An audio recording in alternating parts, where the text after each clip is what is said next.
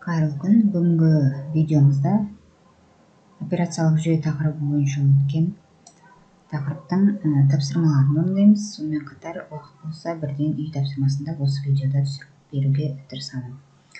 Ә, тапсырмаға тоқтайтын болсақ бірінші тапсырмада компьютердің жұмыс үстеліндегі негізгі объектілердің қызметін кестеге толтыр дейді. Жалпы өткен тақырыпқа тоқталатын болсақ бұл операциялық жүйе және операциялық жүйеде негізгі ұғымдар туралы айтқан болатынбыз. Енді қараңыздар бұл тапсырманы қалай орындаймыз? Тапсырманы орындау үшін бізде өзіміздің кітаптағы материалдарды қолдансақ болады толығымен.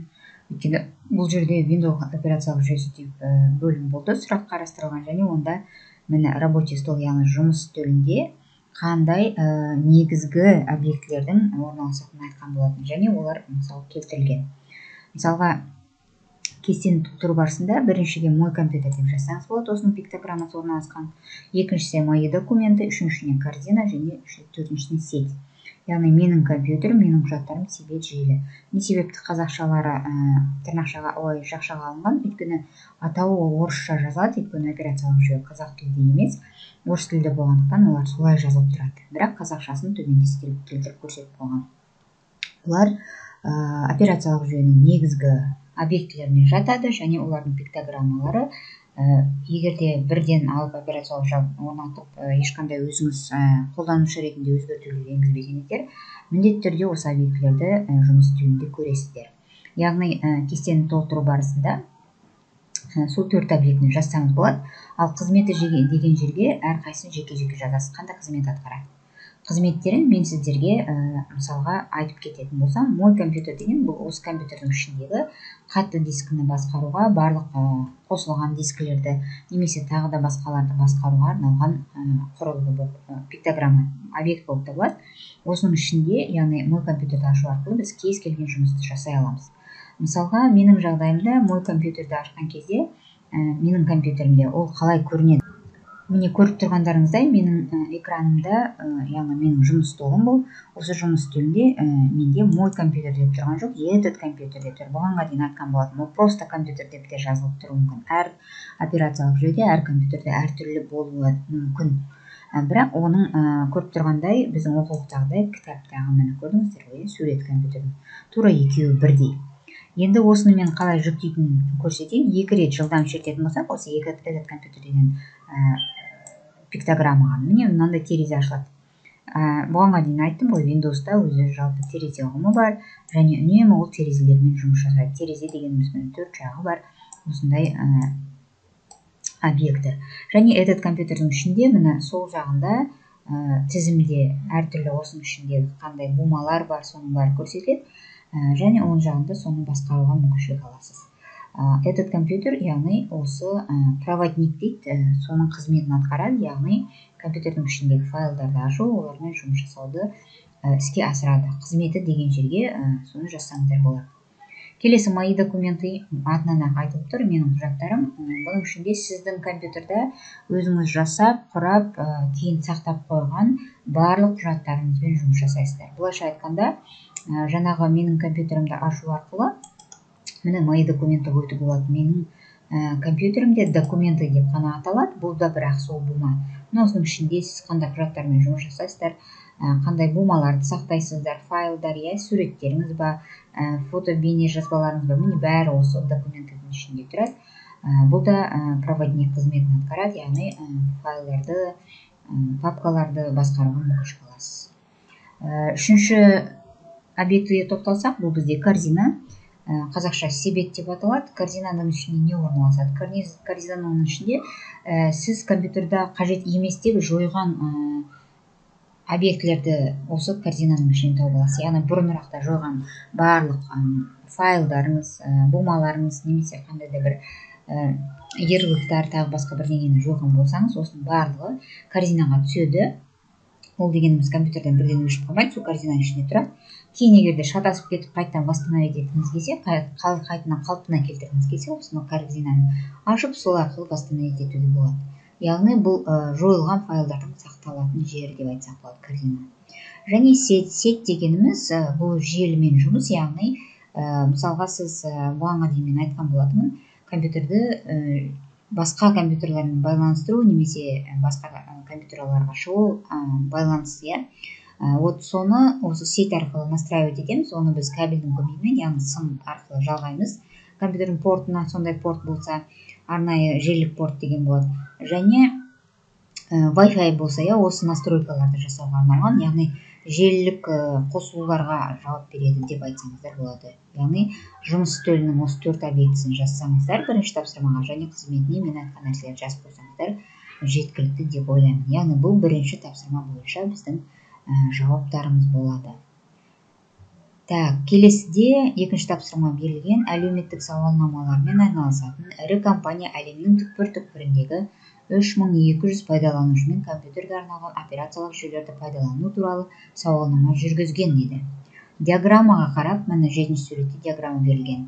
Диаграммаға қарап дейді сауалнамаға қатысқан неше адам windowsты неше адам linuxты және macOSты қолданатынын анықта дейді яғни міне диаграмма берілген әр түс бөлек бөлек берілген және процентпен пайызбен беріліп қойған және сәйкесінше диаграмманың мына сол жағында легендасында былай көрсетілген қай түс қайсы операциялық жүйеге қатысты екені көрсетілген.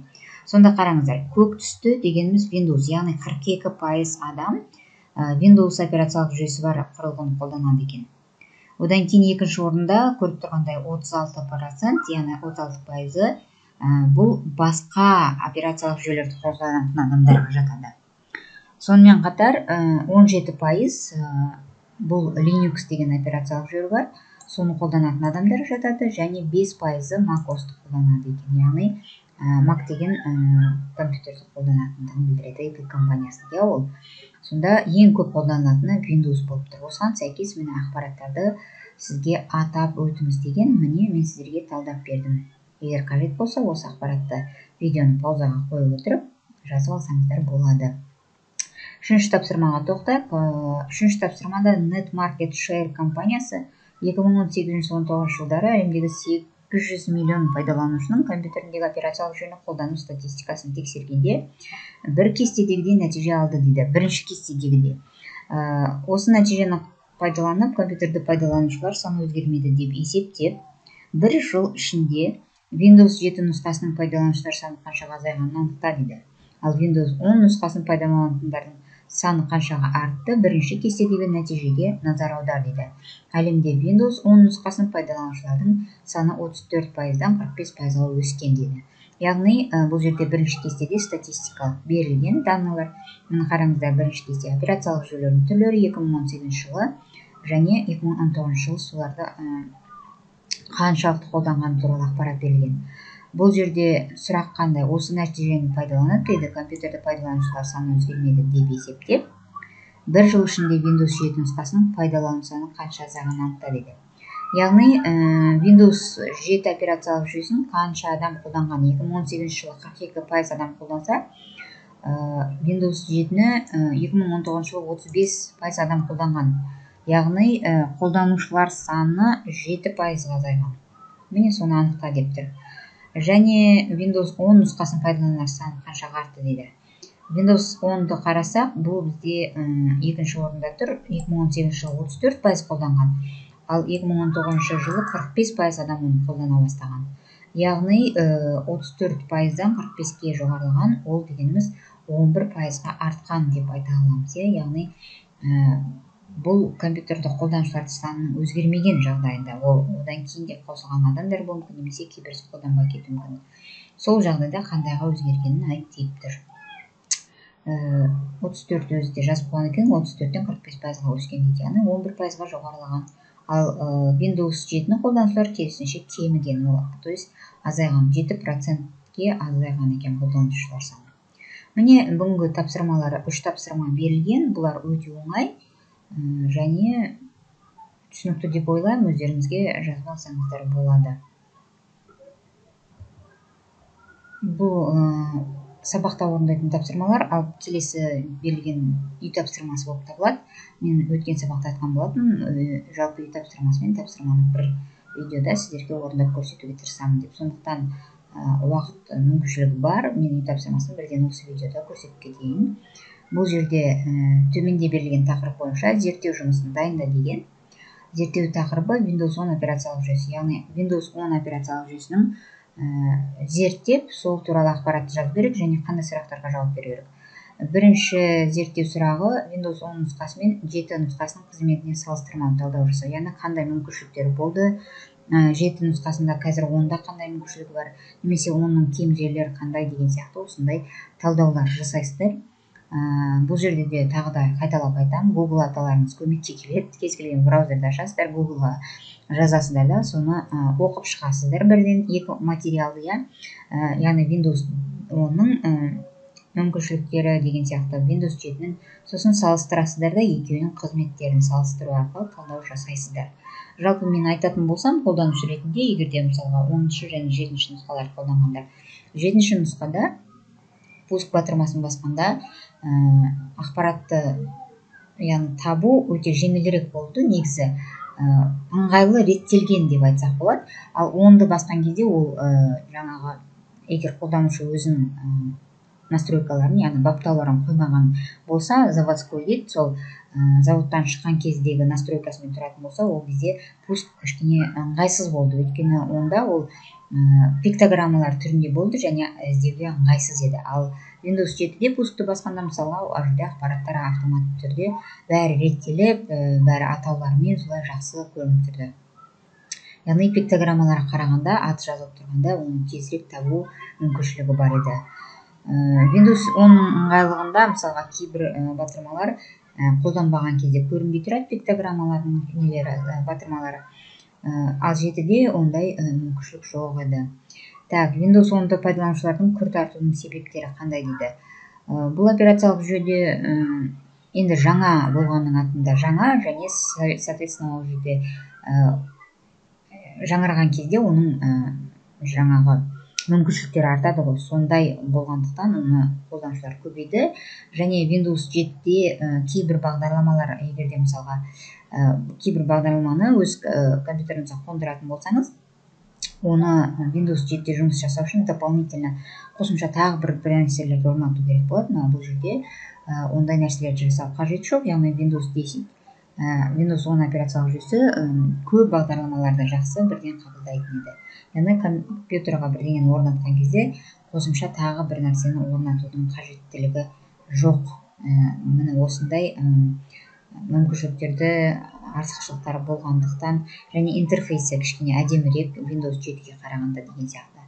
Ә, осындай ә, себептері наверное әсер еткен шығар. Және оның келесі сұрақ windows операциялық жүйесінің нұсқалары алдағы уақытта қалай дамиды болжауларыңыз жазыңыздар дейді. Бұл жерде енді қазіргі таңда мынау кітаптың шыққан уақыты сәл ескірек болуы мүмкін. Сондықтан операциялық жүйенің уже оныншы емес он бірінші нұсқасы бар. Және он бірінші нұсқасы оныншы нұсқаға қарағанда әлдеқайда әдемірек интерфейс интерфейс дегеніміз иә басқару айттым ғой иә. Қолданушы жұмыс жасаған кезде қарағанда сол арқылы яғни қандай батырма бар қандай мәзір бар сол арқылы жұмыс жасайды. Міне сол интерфейсі өте ыңғайлы. Және бұл жерде де кішкене дамыған және операциялық жүйеде мүмкіншіліктері артқан яғни 11 бірінші нұсқада кішкене жақсырақ оныншы нұсқаға қарағанда. Болашақта ну енді бұның ә, өз windows-тың xp nt деген версиялары бар. Сол кезден бастап дамып келе жатқан. Ә, егер де жалпы талдау жасап қарайтын болсақ ә, кейінгі жетінші нұсқа өте көп қолданылды. Өте ыңғайлы болды. Көп ә, біраз уақыт қолданылды біраз жылдар. Windows 7-де отырды көп адам. Және кейіннен сегіз сегіз бір деген версиялар пайда болды. Бірақ олар өте қолданысқа көп енбеді. Өйткені жаңа компьютерларда болғанымен оны алып тастап басқа жетіні қойғандар көп жағдай болды. Өйткені жеті сегізге қарағанда өте ыңғайлы болды. Және сегізінші версиясында windows-тың көп бағдарламаларды қондыру мүмкін болмады және шектеулер көп болды. Сондықтан ол версиялар сегіз сегізде бір деген нұсқалары онша керемет дамымады одан кейін барып он дамыды одан кейін он бір бірден шықты. Енді болашақта он екі деп әрі қарай версиялар шыға береді және дами береді деп ойлаймыз. Міне бүгінгі үй тапсырмасы және тапсырмалардың орындалу реті осындай. Видео сіздерге ұнады деп ойлаймын ұнаған болса міндетті түрде лайк басыңыздар және видеомен достарыңызбен бөлісіп қойсаңыздар болады сіздерге үй тапсырмасын орындауда сәттілік тілеймін